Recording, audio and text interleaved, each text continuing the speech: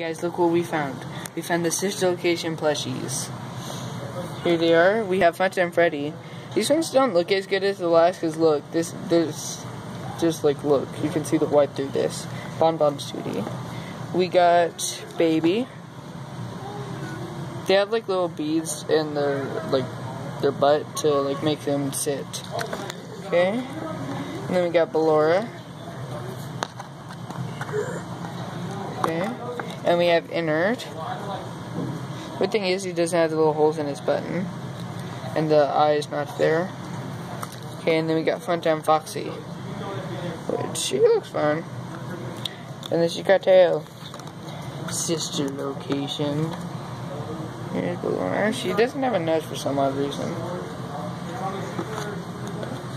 Um, yeah. I like this. Ennard, Ennard would be my favorite though. Look at him. Who doesn't like Ennard? I like how they use the felt because it looks like wires. Thanks for watching. Subscribe and like more videos coming soon.